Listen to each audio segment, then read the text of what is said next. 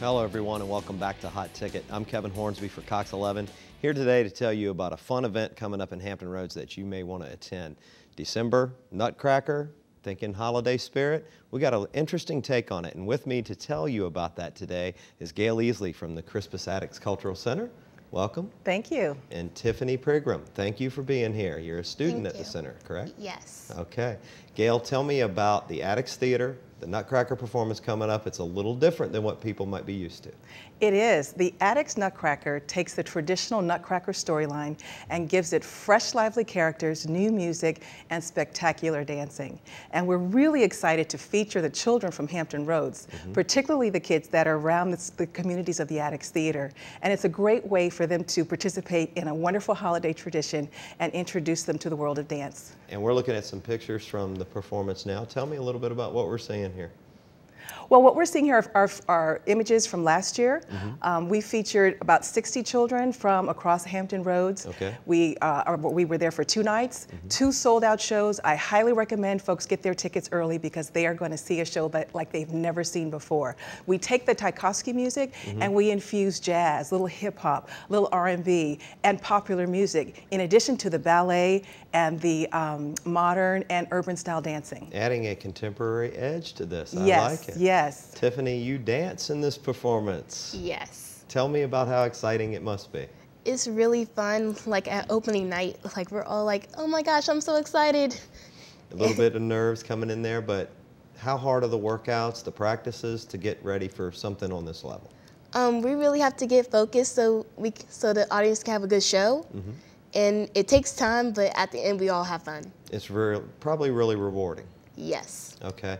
And tell me about your role specifically. What are you doing in this? Well, I was a sugar for Theorette, Okay. and it was really fun because I was with my friends, Yeah. and we all danced because I love to dance, and it was just a good opportunity. Okay. And tell me about this this award that we were talking about briefly before the segment that you guys are up for. Right, we are very excited to be a finalist in the National Arts and Humanities Youth Program Awards. Okay. Now, this is one of the highest honors in the nation for out of school and after school programs in the arts. Mm-hmm. And if we get the award, we will be honored at a White House ceremony hosted by First Lady Michelle Obama. So the Crispus Attucks Cultural Center right here in Norfolk, or right mm-hmm. in Norfolk off Church Street, is having a program that is go- about to be nationally recognized potentially. That is just awesome. We are very excited about this honor, and we hope that the award, if we get it, will mm-hmm. um, give us the opportunity to show that documented programs have a huge impact not only on our young people, mm-hmm. but on the community itself.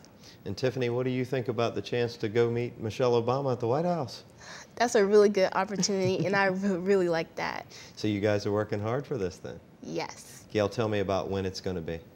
Well, the, the award, if it takes, if we if we get it again, will happen in November. So, um, you know, I know I know we're going to be airing this in December, so we will know by now Okay. if that if that happens. So we're hoping that um, everything's going to fall into place and that you will see us at the White House. And for people to get tickets to the Nutcracker, where do they need to go? To the website? Yes, they can go to the website at cacc-inc.org or go straight to Ticketmaster. Um, we have tickets ranging from 10 to $40. dollars Proceeds benefit the Crispus Attucks Cultural Center's arts education programs. And part of that $40 ticket includes a VIP cast reception where you could get up close and personal with all of our cast members. Tell me a little bit. We just have a moment left, but tell me about the, a little about the history of the theater. The, well, the Attucks Theater was built in 1919.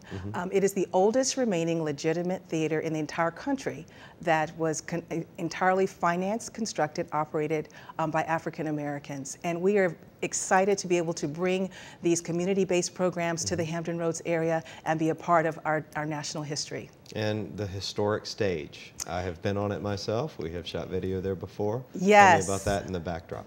Well, of course, the crown jewel for the theater is the is the uh, curtain Yeah. that depicts the Boston Massacre, and we are planning to have that lowered in honor of Crispus Attucks before the Nutcracker starts, Give me the dates again, real quick. December 7th and the 8th On 8, 8 p.m., correct? at 8 p.m. That's Friday and Saturday night. Get your tickets early. You will have a fun, fun time. We guarantee Ladies, you. thank you so much. We are out of time, but I want to thank you for sharing this information with us, and good luck on the award. Thank you very much. And we want to encourage you to come out to the Attucks Theater on Church Street on December 7th and 8th for Hot Ticket. I'm Kevin Hornsby.